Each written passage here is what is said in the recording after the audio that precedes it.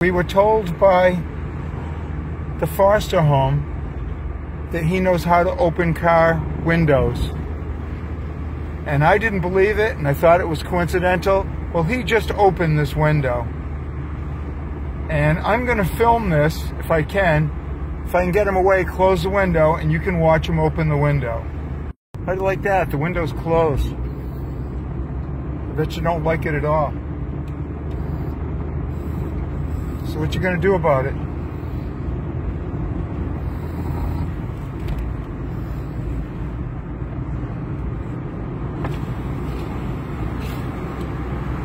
And there we go.